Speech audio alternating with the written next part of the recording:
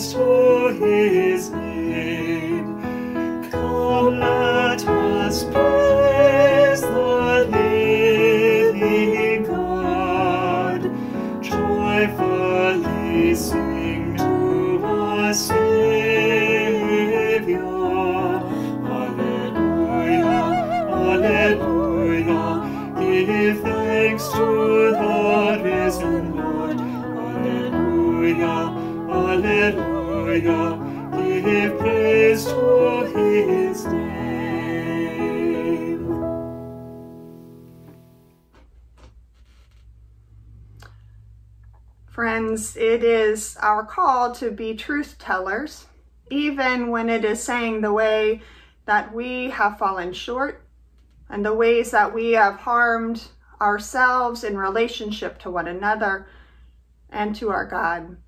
So let us confess together, trusting in God's mercy.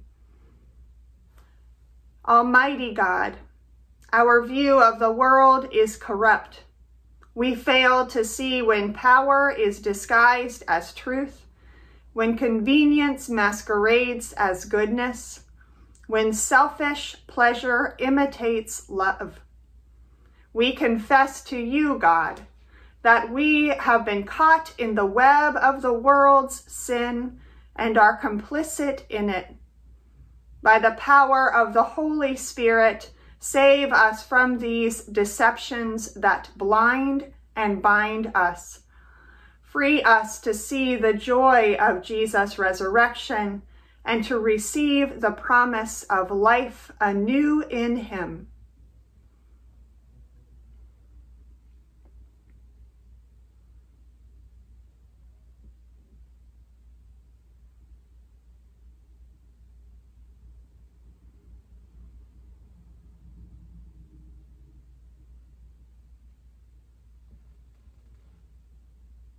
Amen. Friends, hear the sound of grace poured out.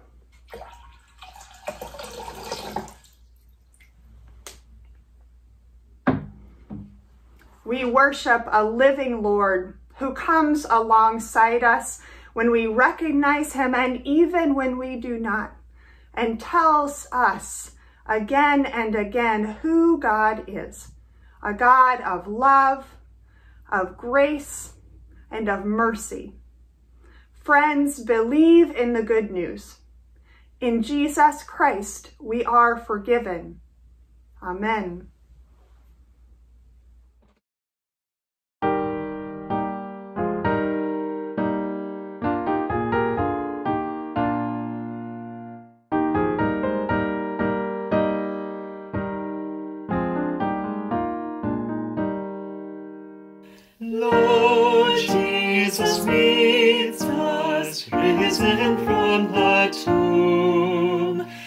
He greets us, scatters fear and gloom. Let the church with gladness hymns of triumph sing. For the Lord now liveth, death has lost its sting.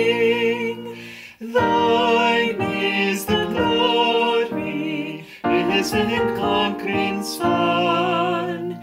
Endless is the victory thou o'er death hast won.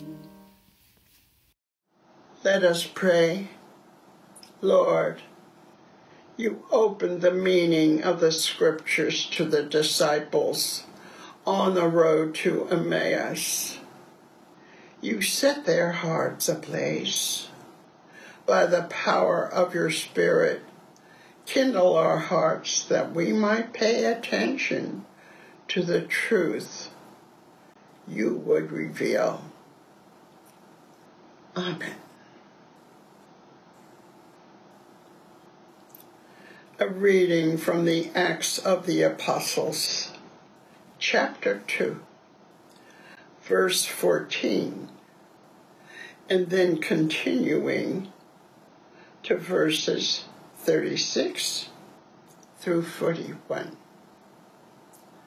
Listen with me for God's word to us today.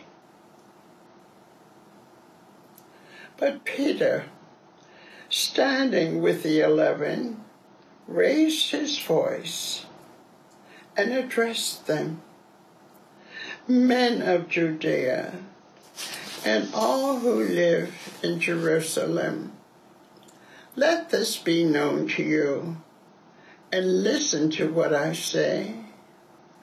Therefore, the entire house of Israel know with certainty that God has made him both Lord and Messiah.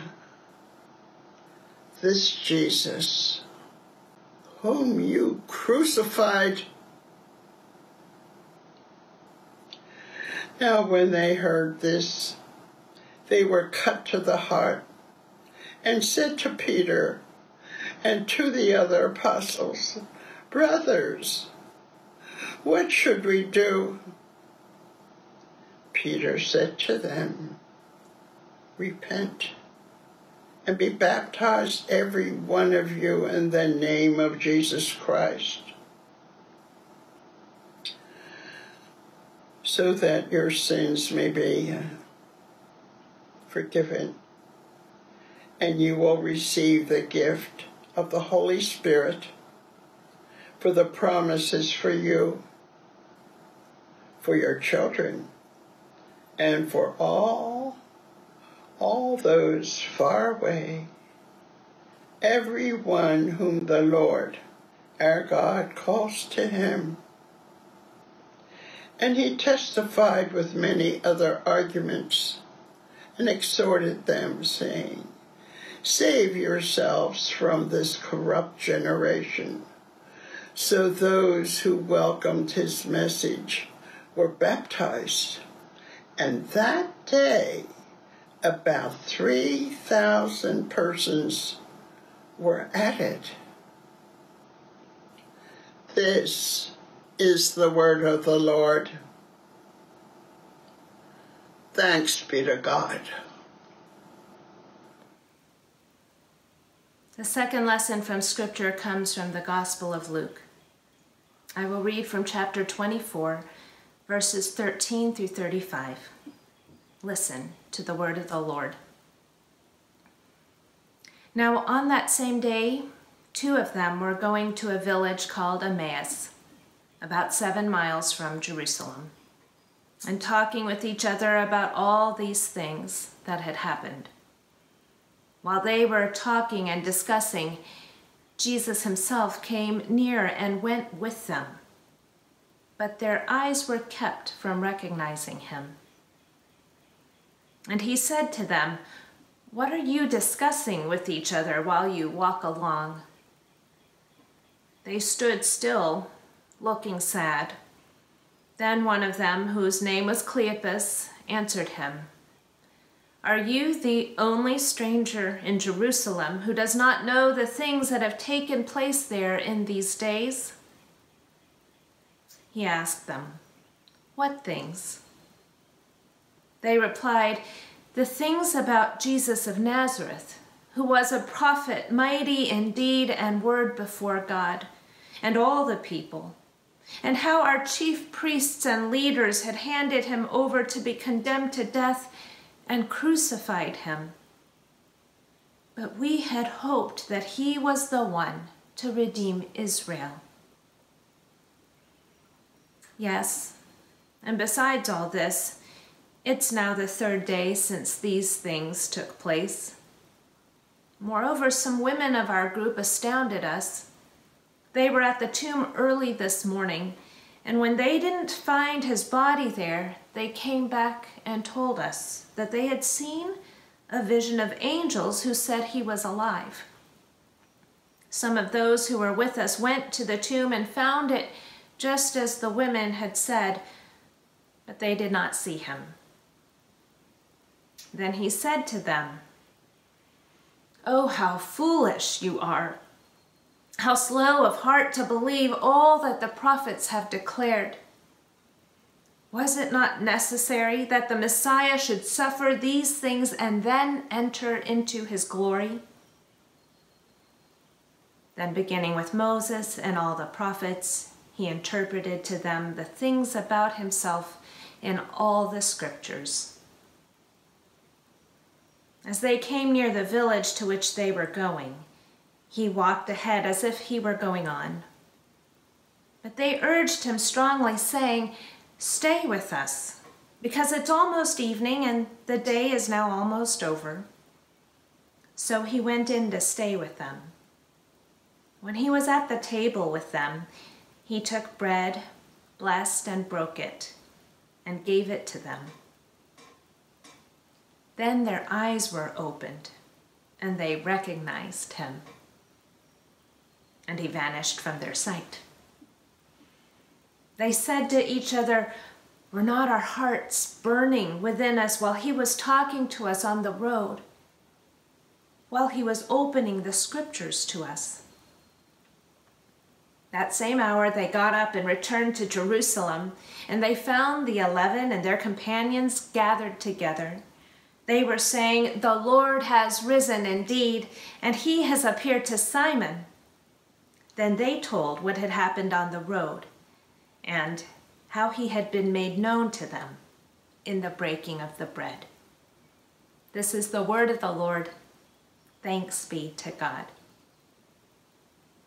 Of all the stories in the gospel, the story of Two disciples walking and talking on the road to Emmaus is one of my favorites. It draws me in. Without much effort, I can relate to the scenario.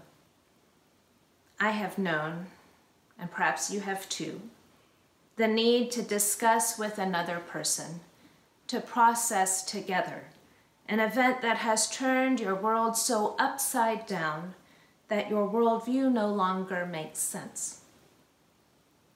Without much effort, I can feel the weight of their words and the heaviness of their hearts as they head home from their annual Passover pilgrimage to the holy city, now a city of horrors.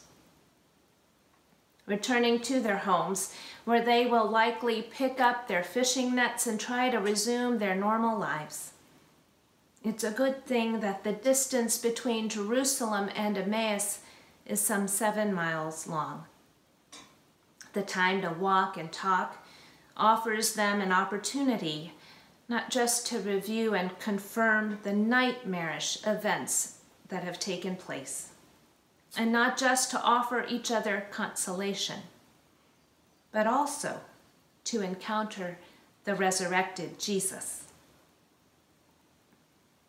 Interesting, isn't it, that the two disciples don't recognize him? I've wondered about this. How could it be that they wouldn't recognize the man whom they had left their former occupations to follow? Their teacher, Lord, and leader. How could they not recognize the very person they were missing? It is the height of irony. Maybe they would have recognized the Jesus they thought they knew. Something prevents them from recognizing this Jesus who is resurrected. Is it that his appearance has been physically altered? There's no indication of this. Is it instead that their misery has made their vision myopic? Are they so heartbroken that they have turned inward? Has all the drama of the past days completely clouded their vision? All of this is possible. When Jesus asks them what they are talking about, so immersed are they in their sorrow that they can't believe that someone wouldn't know what has taken place. They proceed to explain the series of, of events that led to Jesus' death. We know from what they say that they were in shock of how it all turned out. But we had hoped that he was the one to redeem Israel, they say. And there you hear it, the deepest part of their sorrow. Jesus hears them out and you get the sense that he is patiently waiting to hear how they will talk about the news of his resurrection. And they do mention it, despite the sorrow they feel for his death and their disillusionment. They mention the puzzling report of the women who went to the tomb and found it empty and then were told by angels that Jesus had risen from the dead. They mention that hearing from the women that the tomb was empty, a couple of the disciples went to the tomb and also found it empty. Seeing that his disciples were still so sad instead of glad, were so focused on the death that they couldn't take in his resurrection. It seems as though Jesus is exasperated. Oh, how foolish you are, he says after being publicly sentenced to death, nailed to a cross, buried in a tomb. After all he has been through, to be raised from the dead is so amazing, so life changing. Why isn't that what everyone is talking about? Why isn't that what enables the disciples now to make sense of everything? Of all that the prophets have taught and the scriptures have said. It's not unusual that we only see what we are looking for. In fact, it happens more often than we may be aware. There's a term for this. It is inattentional blindness. Berkeley University researchers Arien Mack and Irvin Rock coined this term in the 1990s while they were studying the difference in what people perceive when things lie inside and outside their fields of visual attention.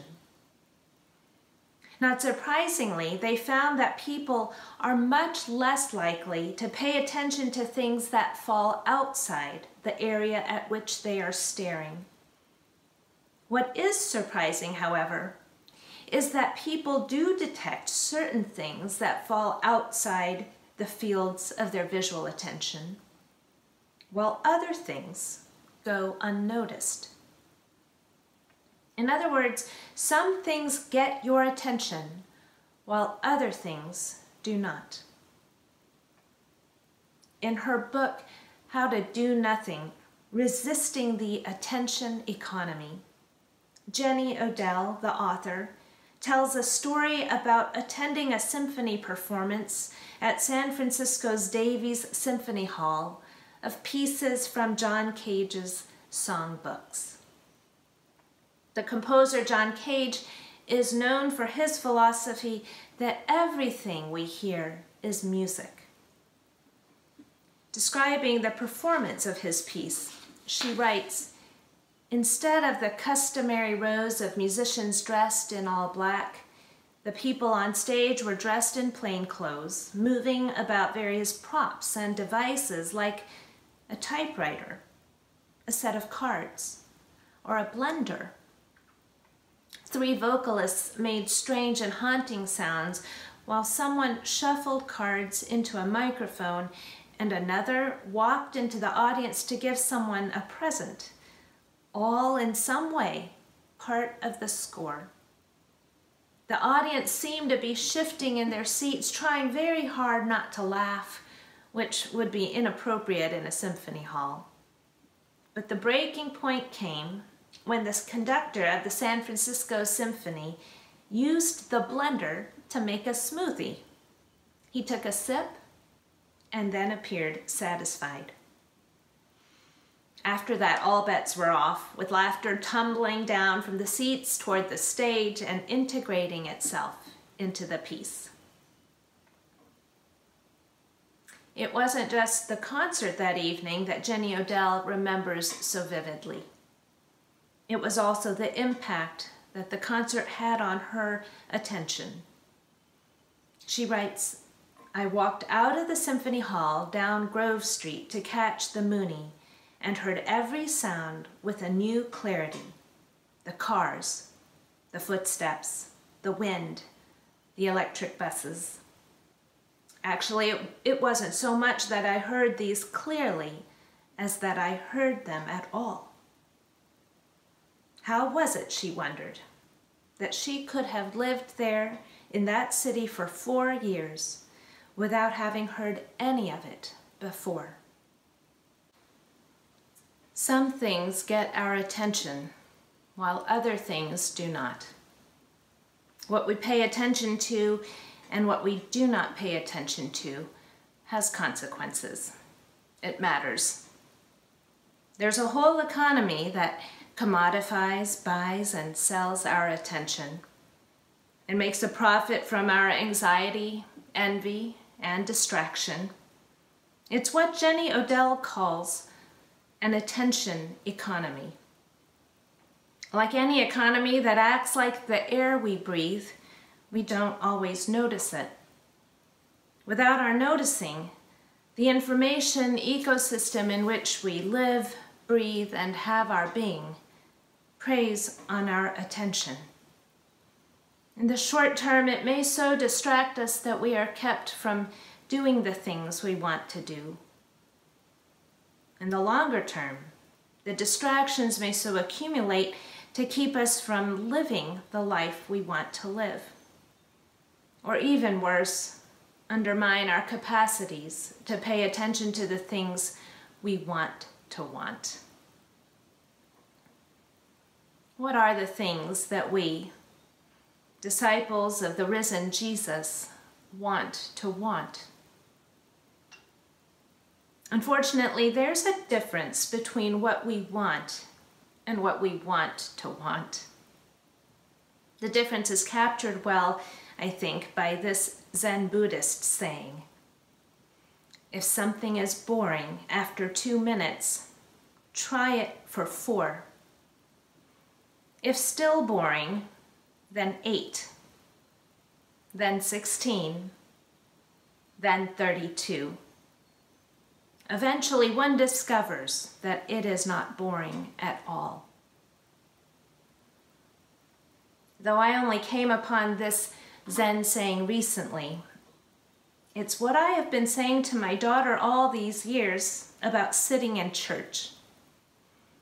Given the larger ecosystem which she has grown up in, it may be the sorry case that spending the Sabbath worshiping God has become the one time of the week that my teenage daughter spends time and attention not on what she chooses, not on what she wants, but on what, more than anything, as her mother, I hope she will someday want to want. It takes discipline. It takes sustained commitment to keep paying attention to something that has been there all along. Ever since Americans have become worried about the spread of the coronavirus, we have needed to pay new attention to aspects of our day to day lives that have always been around. We have needed to pay attention to the fact that we are habitually, constantly touching our faces that's why before we closed the church building, we had to post signs everywhere to remind ourselves not to touch our T zone. Now that we are all encouraged to stay home, to work from home, to learn at home, to eat at home, we're paying attention with newfound appreciation to those essential workers who cannot stay home. Postal service workers, health care workers, emergency care workers, waste management workers. If we are not careful, we might not be able to disentangle ourselves from the attention economy enough to attend to the things we want to want to attend to. For example, in staying home, you may be spending more of your time in front of screens, and in doing so, you may find yourself prey to the fresh horrors throughout the day. In a strange reversal of roles, I've had to tell my retired parents to limit their television intake. Watching so much television news cannot be good for anyone, can it? To what are we paying our attention? Our attention is valuable. Even before the 24 news cycle and even before the internet were established, there has always been a cost. Perhaps it takes a crisis or calamity for us to become aware of the cost. It makes sense that in the, in the aftermath of some catastrophe, we would question our view of the world, the adequacy of our old frames of reference. It makes sense that when we are feeling lost, we would seek a new frame of reference. The disciples of Jesus were definitely lost. Jesus' crucifixion had so devastated them and their hopes for the redemption of Israel that all they could see was his death. So when the resurrected Jesus walked and talked with them, they didn't recognize him. They didn't feel any joy. That is, until later. It took them some time in his presence before they recognized him, but when they did, their hearts burned with joy. It may take some time for us too to recognize the resurrected Jesus. The thing about Jesus is that he doesn't force himself on us. He doesn't take part in the attention economy, buying and selling our attention. He doesn't publicize himself or put himself on any platforms. But he is always present for us, willing to walk and talk with us. Whether we pay attention to him or not, our resurrected Lord is always around, not just on a distant horizon, but here and now. Amen.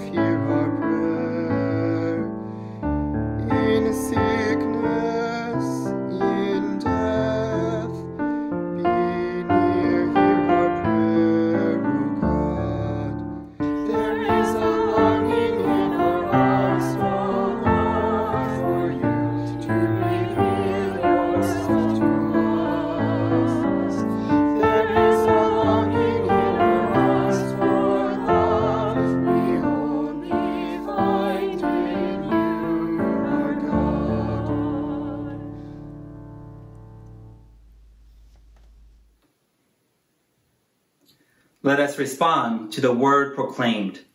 As we join our voices, let us affirm our faith using the words from the Apostles' Creed.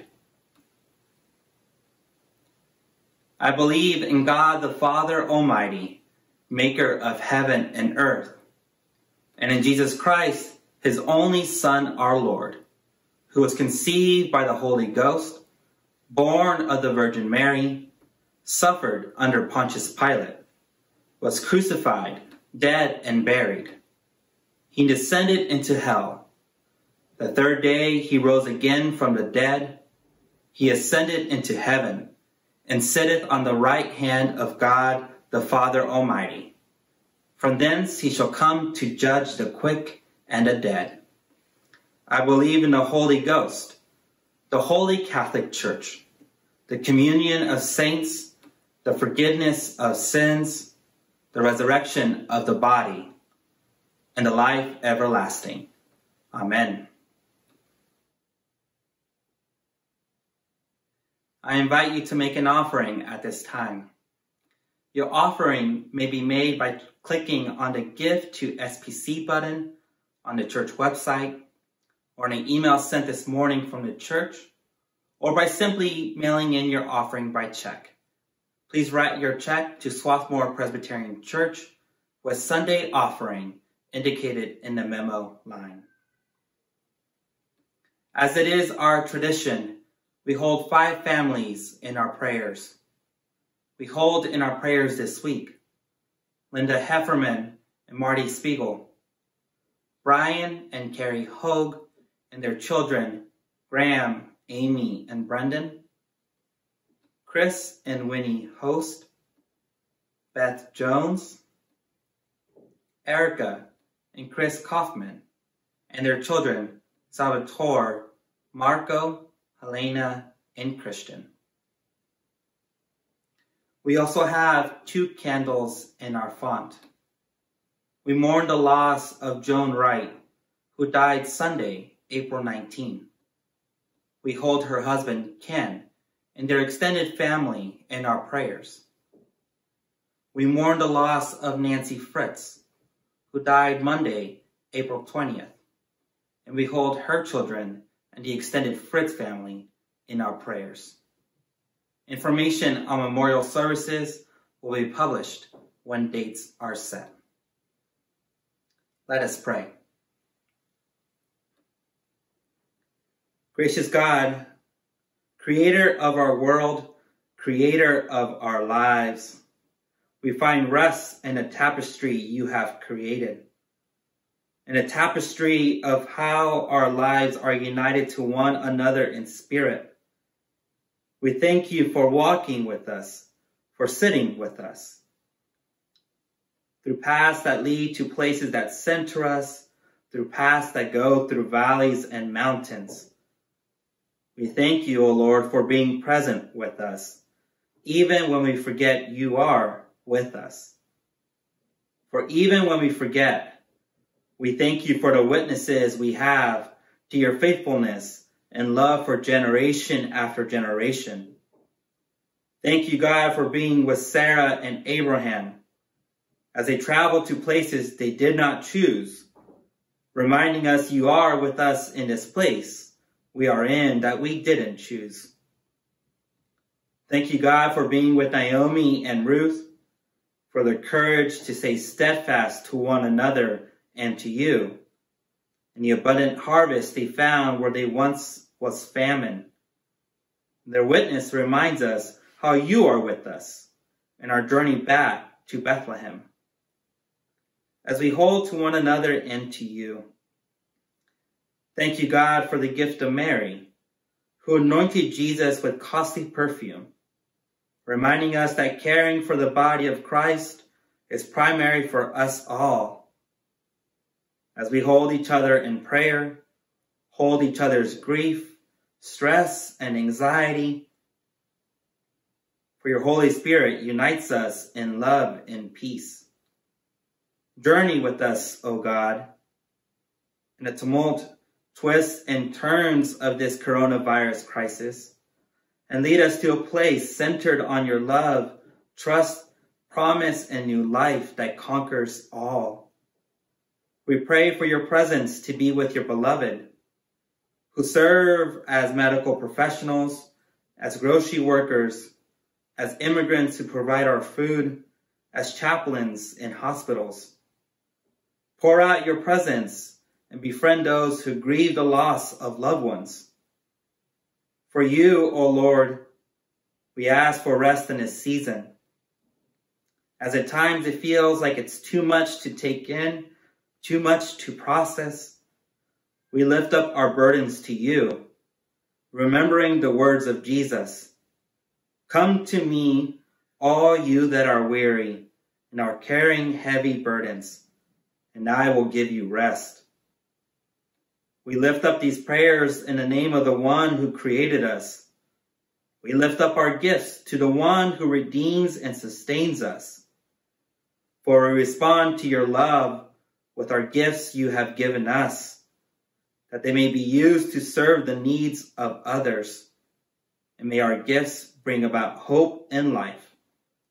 May we serve your will and show your love through Jesus Christ our Lord, who taught us to pray. Our Father, who art in heaven, hallowed be thy name. Thy kingdom come, thy will be done, on earth as it is in heaven. Give us this day our daily bread, and forgive us our debts, as we forgive our debtors. And lead us not into temptation, but deliver us from evil. For thine is the kingdom, and the power, and the glory forever. Amen.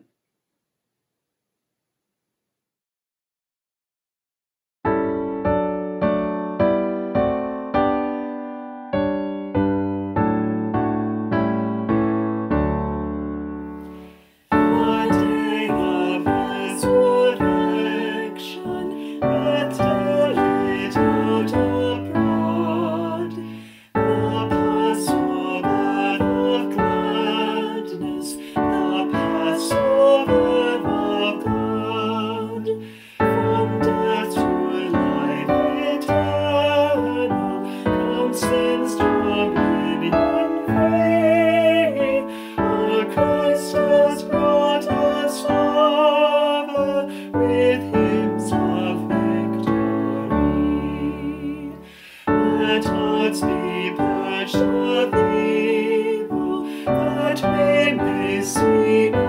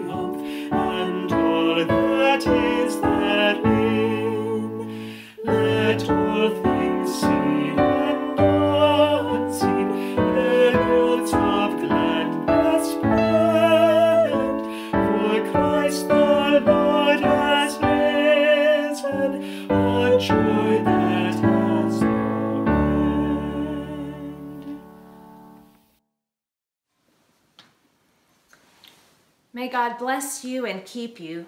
May God make his face to shine upon you and be gracious unto you. May God lift up his countenance upon you and grant you peace, today and forevermore. Alleluia. Amen.